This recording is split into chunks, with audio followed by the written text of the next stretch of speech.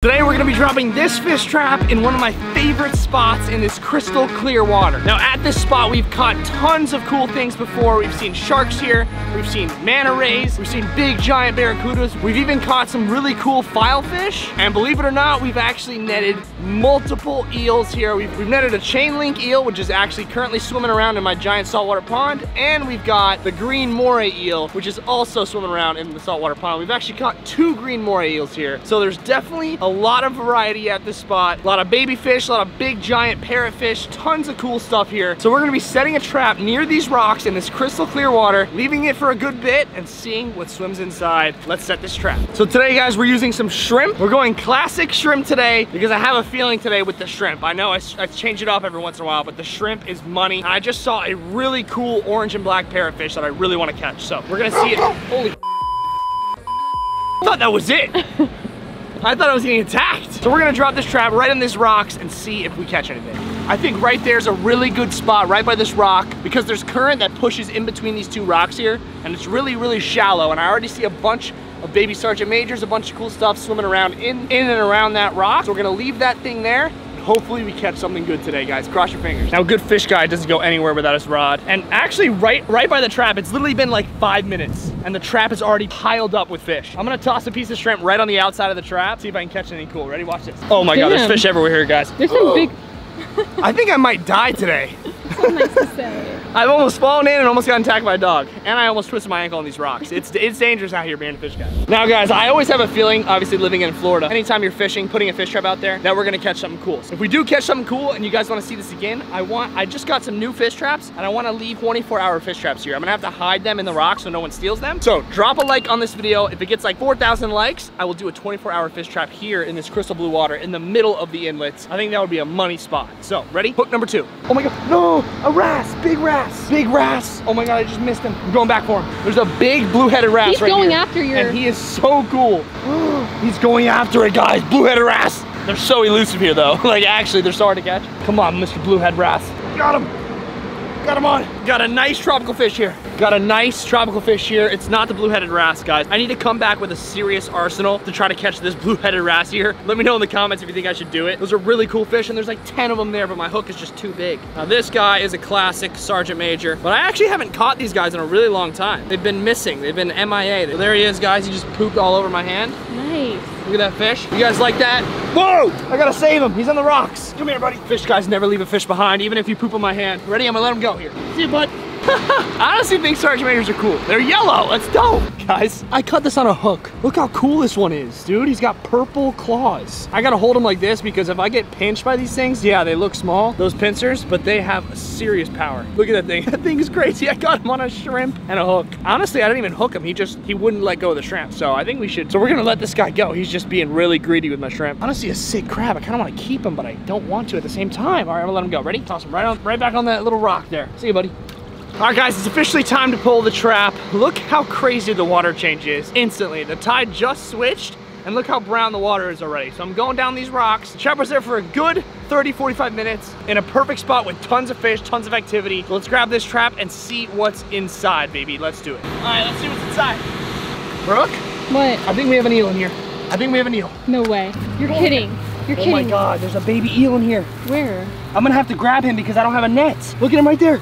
It's a baby Oh chain link. It's a baby chain link. Let's go. I'm gonna have to pick him up. I'm gonna have to get risk by getting bit by him. I'm gonna have to risk it. I'm gonna risk it. Oh my god. I have to. Oh my god. I have to. Oh, this is crazy. Look at that. Look at that eel. Holy cow, that's a baby chain link. Look at that. That's insane. Holy cow. That's nuts.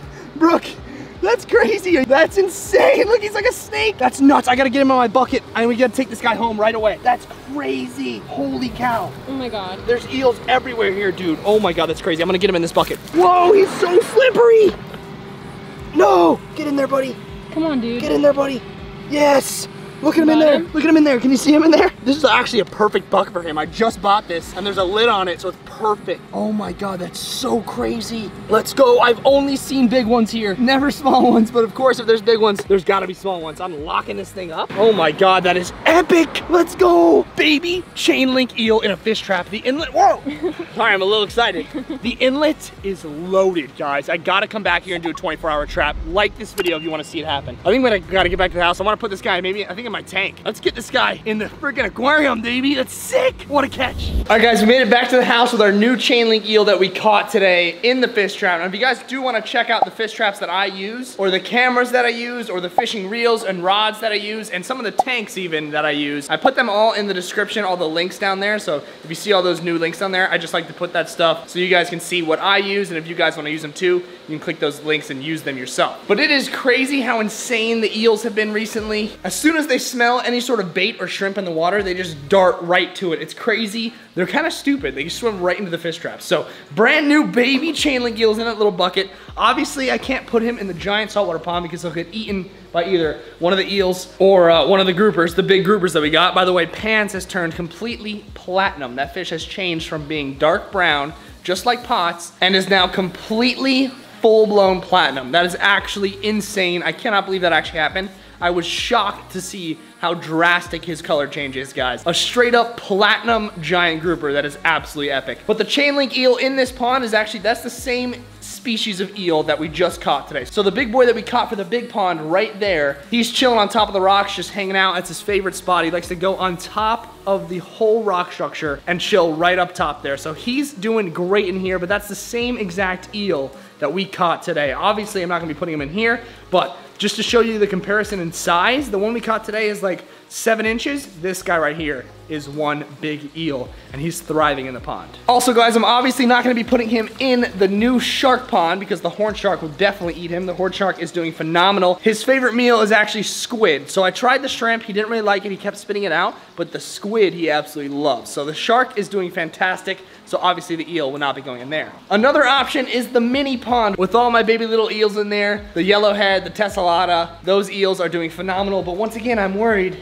those eels are definitely bigger than him they're definitely gonna eat him for lunch. So the only other option, guys, is putting him in my 55 gallon tank, the mini monster tank, which is actually coming along very nicely. We got the anglerfish, we got the pufferfish, the hyphen snapper, and now the baby chain link eel. It's a perfect addition for the mini monster tank. Let's get him in there. All right, guys, we're gonna put our brand new eel in the 55 gallon tank with our anglerfish, our giant anemone, and our other pufferfish and snapper in here. Now, he's definitely gonna be able to hold his ground. He's got some rocks in here to hang out in, and he's definitely gonna be perfectly safe in here. Now, I gotta give a shout out to Chris for this comment right here to name the angler Clifford the Big Red Angler. I think that's a hilarious name, and that's officially his name because he's gonna get giant. So our bright red anglerfish is gonna be named Clifford, and we're gonna feed him like crazy, and we're gonna get him to become Clifford the Big Red Anglerfish. Okay, let's get our brand new chain link eel in the saltwater aquarium right here, guys. I'm pumped. All right, now here he is going in the tank, guys. Look at that guy in the net. I cannot believe we actually caught this baby dude in a fish trap. I actually can believe it because eels are crazy. He's so cool, dude. Look at the colors on him, these purple and yellow. This is a fire catch, dude. I'm so pumped. Look at him swimming. Let's go. Let's go. He's going to go right for the rock. There he is sticking his head out, swimming around, checking out the tank. Look at the colors on that eel, guys. The purple and the yellow. We need epic names for this guy in the comments. Drop those comments down below to figure out what this guy's name is going to be. He is absolutely epic in this tank. I'm so stoked we caught this little dude today. Hopefully, Clifford the big red uh, anglerfish does not eat him. Thank you guys so much for watching. What an epic day out on the water. Remember to comment those names down below so we can get a name for our brand new baby chain link eel. Absolutely epic catch today. Thank you guys so much for watching. I'll see you in the next one, guys. Peace.